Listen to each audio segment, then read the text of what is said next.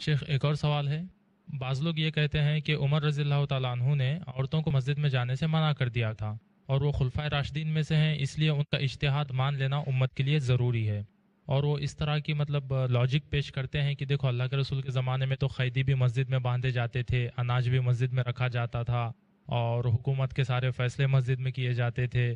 یعنی وہی جیل خانہ تھا، وہی گودام تھا اور وہی پارلیمنٹ تھا۔ تو کیا آج کے زمانے میں آپ اس طرح سے کریں گے؟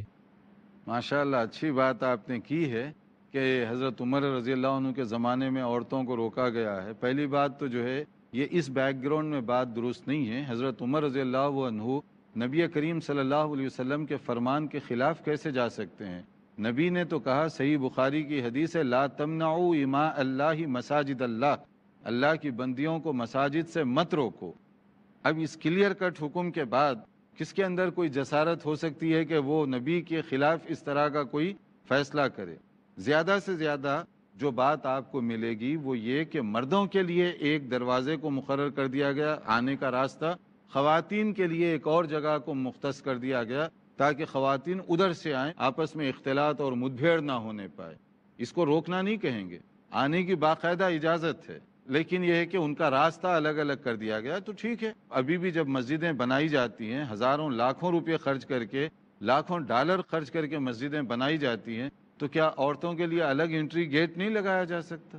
الگ دروازہ لگا دیں تو فتنے کا دروازہ بھی بند ہو جائے گا۔ اور یہ جو ڈاؤٹ پیدا کیا جاتا ہے کہ آپس میں مدبھیڑ ہونے کا خطرہ ہوتا ہے، وہ خطرہ بھی کلیئر ہو جائے گا۔ مگر ایک اور کامن سینس کی بھی بات ہے۔ یہ سارے مسائل کہ عورتیں اگر مسجد میں آئیں تو فتنہ ہوگا، یہ ڈر ہے کہ اختلاط ہوگا، یہی بات ہے نا؟ تو یہاں پر تو یہ مسائل ہو رہے ہیں۔ سڑک پہ آپ چلے جاتے ہیں تو وہاں ڈر نہیں ہوتا؟ وہاں سڑکیں الگ ہیں۔ یا آپ جو شادی خانے میں جا رہے ہیں، ویڈنگ ہال میں جا رہے ہیں تو دیکھا ہے وہاں کا تماشا۔ اسکول میں روزانہ بچوں کو چھوڑنے کے لیے مردوں سے زیادہ عورتیں جاتی ہیں۔ شاپنگ کے لیے ضرورتاً، یہ ونڈو شاپنگ کی بات نہیں کر رہا ہوں میں۔ ضرورتاً جو شاپنگ کے لیے جاتی ہیں، گروسری وغیرہ، وہ عورتوں کو زیادہ جانا پڑتا ہے۔ تو وہاں تو سارے مرد انجوائے کر رہے ہیں۔ خطرہ نہیں ہو رہا وہاں پر۔ کوئی ڈاؤٹ نہیں ہے، کیونکہ ہمارا کام وہ کر رہی ہے وہاں۔ تو اس لیے ہم جو ہے ان کو وہ ساری ڈیوٹی دیے ہوئے ہیں۔ صرف مسجد میں آنے کے لیے یہ ساری پرابلمس کہ فتنہ وہاں ہوگا، ڈر وہاں ہوگا۔ مسجد سے زیادہ سڑک پہ ڈر ہے۔ مسجد سے زیادہ شادی خانے میں ڈر ہے۔ مسجد سے زیادہ روزانہ اسکول کے جگہ پر ڈر ہو سکتا ہے۔ تو وہاں روکنا چاہیے۔ وہاں تو کوئی مسئلہ نہیں اٹھاتا اس کے خلاف۔ دیکھیے، شریعت جو میں نے کہا، جو اجازت دیتی ہے، اس میں بڑی حکمتیں ہیں۔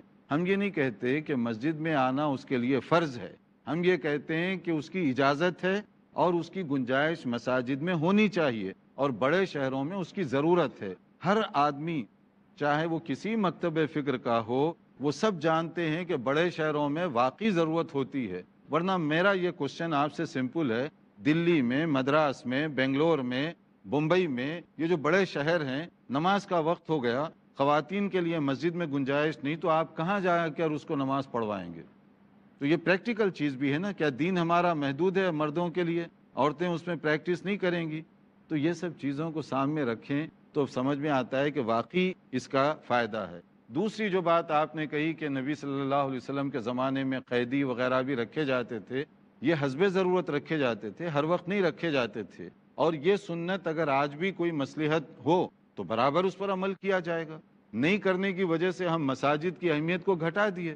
صرف چار رکعت کی مسجد بنا کر رکھ دیے، اس کی جو سوشل حیثیت تھی، مرکزی حیثیت تھی، وہ سب ختم ہو گئی۔ ورنہ غیر مسلم کے وفود مسجد میں آیا کرتے تھے نبی صلی اللہ علیہ وسلم کے زمانے میں۔ آج بھی چاہیں تو آ سکتے ہیں۔ آج ہماری مسجد کے دروازے کیوں بنے؟ کس نے منع کیا ہے ان کو؟ ہم لوگوں نے منع کیا نا، شریعت تو نہیں منع کر رہی ہے۔ جو جہاں ضرورت ہے، وہ اگر خطبہ سننا چاہتے ہیں، درس سننا چاہتے ہیں، تو نہیں آئیں گے، آ سکتے ہیں۔ یہ اور اس طرح کی بہت ساری ہماری ماشاءاللہ باتیں ہیں جو نماز سے جڑی ہوئی ہیں، مساجد سے جڑی ہوئی ہیں اور بہت سی غلطیاں، غلط فہمیاں کنفیوژنس یہ سب چیزیں اگر ہم حدیث پر توجہ دیں، انشاءاللہ تعالی ایک ایک کر کے حل ہوتی جائیں گی۔